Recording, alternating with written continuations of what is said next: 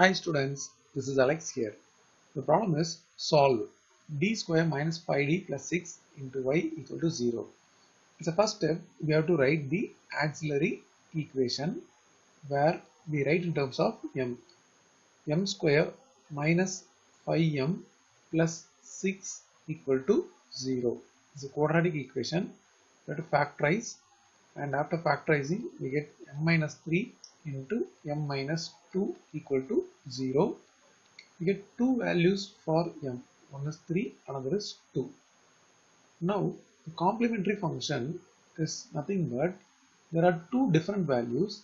So c1 e power 3x is the first term and another term is c2 e power 2x.